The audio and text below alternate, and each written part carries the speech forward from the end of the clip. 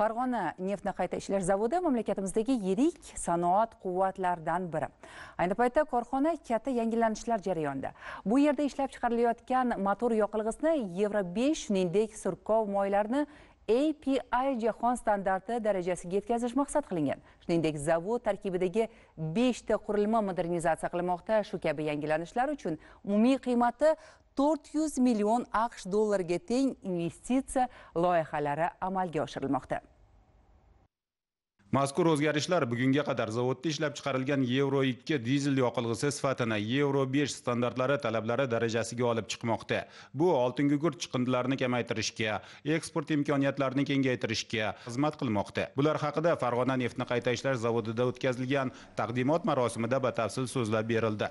Ta'kidlanishicha yangi turdagi moy mahsulotlari ishlab chiqarish dasturiga asosan sifat darajasi yuqori bo'lgan yangi qo'shimchalar sotib olindi va bu asosida ishlab chiqarilgan motor gidro gidravlika va transmission moylari namunalari sanoat sharoitida sinovlardan o'tkazildi. Shuning barobarida korxonada keng ko'lamli modernizatsiya jarayonlari bosqichma bosqich davom etmoqda. Har bir obyektni muhimligidan kelib chiqib qurilishimiz ikkita etapga bo'lganmiz va hozir birinchi etapi doirasida vodorod ishlab chiqarish qurilmasi hamda qisqa siklli adsorpsiya qurilmalari qurilishi tugatilish arafasida qurilmalarni ishga tushishi bizga yuqori sifatli tozaligi to'qson to'qqizu to'qqiz konsentratsiyali vodorod ishlab chiqarish imkonini beradi. Keyingi etapda quriladigan gidrokreking qurilmasi va izomerizatsiya qurilmasi ham zavodda e, rivojlanishida judayam muhim ahamiyatga ega.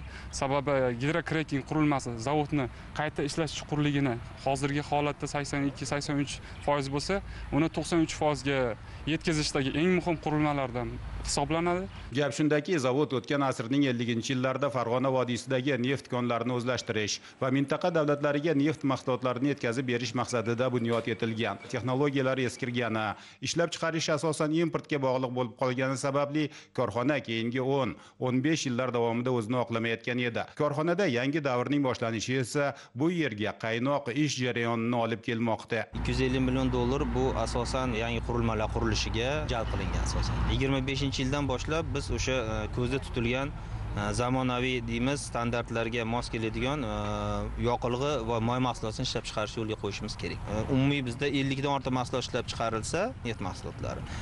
Shularni barchasini bosqichma bosqich me'yorlashtiruvchi hujjatlar talab darajasiga yetkazish mumkin bo'ladi. Shunday qilib zavod ulkan yangilanishlar bo'sag'asida turibdi. Yirik investitsion loyihaning amalga oshirilishi esa zavod mavqeini tiklab raqobatbardosh va sifatli mahsulot ishlab chiqarish yangi ish o'rinlari yaratish imkonini berishi kutilmoqda.